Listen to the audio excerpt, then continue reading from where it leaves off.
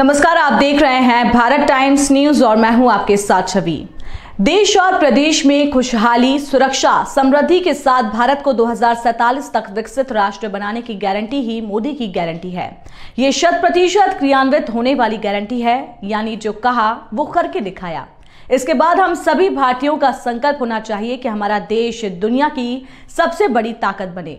इसके लिए आतंकवाद, नक्सलवाद, जातिवाद और भ्रष्टाचार को समाप्त करना होगा।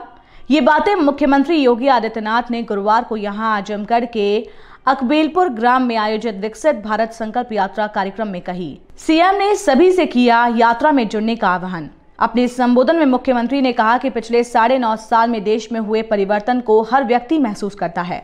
दुनिया में भारत का सम्मान बड़ा है, विकास की बड़ी योजनाएँ मूर्त रूप ले रही हैं और कल्याणकारी योजनाओं का लाभ बिना भेदभाव के गाँव गरीब किसान, महिला और नौजवानों को मिल रहा है। उन्होंने कहा है कि आने वाले समय में शत प्रतिशत जनता को योजनाओं का लाभ मिले, इसके लिए गाँव गाँव में विकसित भारत संकल्प यात्रा निकाली जा रही है। मुख्यमंत्री ने कहा है कि उत्तर प्रदेश में 526 वीडियो वैन भी इस कार्य में लगाए गए हैं। सीएम योगी ने कहा है कि इस यात्रा के ज़रिए सरकार की योजनाओं से संबंधित स्टॉल, योजनाओं के फॉर्म, स्वास्थ्य मेले आदि का आयोजन हो रहा है। सीएम योगी ने सभी से इस यात्रा में जुड़ने और योजनाओं का लाभ लेने की अपील की। वास्तविक धरातल पर उतर रही है कल्पनाएँ। सीएम योगी ने कहा है कि पहले जो कल्पनाएँ थीं, वो आज वास्तविक धरातल पर उतर रही हैं। प्रदेश में अब तक 55 लाख गरीबों के लिए घर बनाए गए हैं। 10 करोड़ लोगों को आयुष्मान भारत योजना का लाभ मिल रहा है। हर गरीब को अगले पाँच साल तक फ्री राशन की सुविधा दी जा रही है। ये सब मोदी की गारंटी है। आजमगढ़ का हो रहा भाग्योदय। मुख्यमंत्री ने कहा है कि आजमगढ़ में विकास तेज गति से दौड़ता दिख रहा है। यहाँ निर्माणाधीन महाराजा सुहेल देव विश्वविद्यालय का निर्माण कार्य जनवरी में पूरा हो जाएगा। इसके अलावा पूर्वांचल एक्सप्रेसवे, संगीत महाविद्यालय, एयरपोर्ट जैसी योजनाएँ आजमगढ़ का भाग्योदय करने वाली हैं। उन्होंने कहा है कि हर चेहरे पर खुशहाली और हर गरीब की सुनवाई और उनकी समस्याओं का समाधान होना चाहिए, यही मोदी की गारंटी है। मुख्यमंत्री ने कहा है कि आजमगढ़ में आज भय और आतंक नहीं, बल्कि विकास और संगीत की सुंदर लहरियाँ गूंज रही हैं। डबल इंजन की सरकार पूरी मजबूती के साथ जनता के हितों की रक्षा करने के लिए आई है। प्रदेश में लाखों करोड़ का निवेश होने जा रहा है, जिससे रोज़गार के नए अवसरों का सृजन होगा।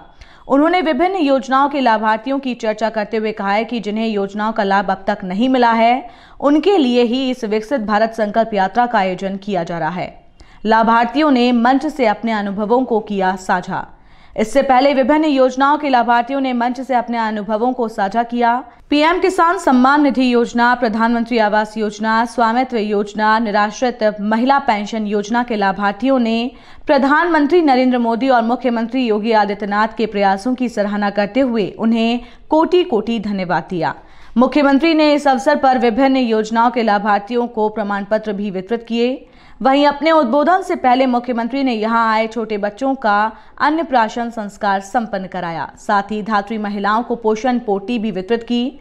इसके उपरांत उन्होंने विभिन्न योजनाओं से संबंधित स्टॉलों का निरीक्षण किया। उन्होंने आजमगढ़ के one district one product black pottery का भी अवलोकन किया। उपस्थित समूह के साथ मुख्यमंत्री ने भारत को दो तक आत्मनिर्भर और विकसित भारत बनाने के संकल्प को साकार करने की शपथ ली।